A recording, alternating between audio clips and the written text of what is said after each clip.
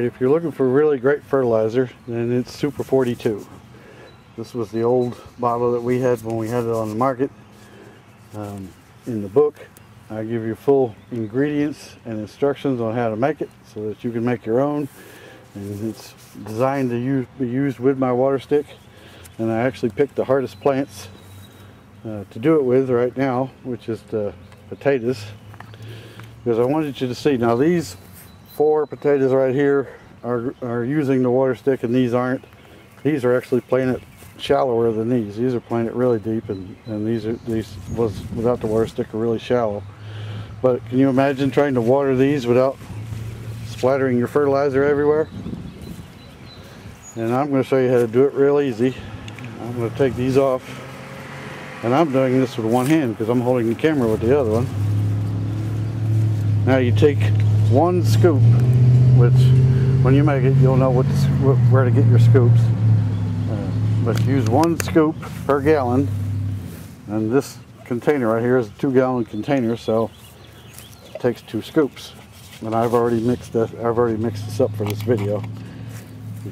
Take your caps off, your water stick feed tube. That's just a feed tube. If you haven't, if you don't know what the water stick is, then you'll have to buy the book to find out. This is just a feed tube. All right, and then you take your fertilizer and pour it right down. Now this is going directly to the roots of these plants. So this is going right down to the potatoes. That's all we need. We go from here. I'm not going to put the cap right back on yet because I'm fertilizing these during the video.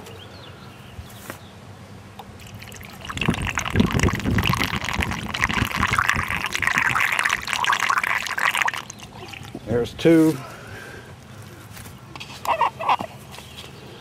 Oh.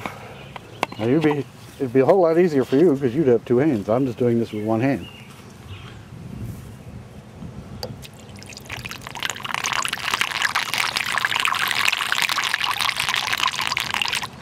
There's three.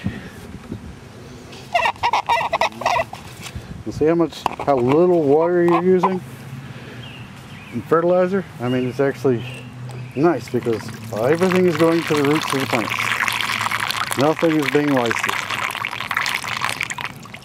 There's four. All right, so I just watered all four plants and I used probably, oh, that, I probably used less than a half a gallon to water these four plants. And they got plenty of water and fertilizer at root level. So that's how easy it is to work with the water stick. I mean, you imagine doing these over here? It'd be a job.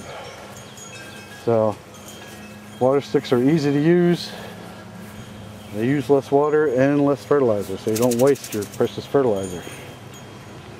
So if you haven't bought the book, buy the book and give it a try because there's a lot of good information in there.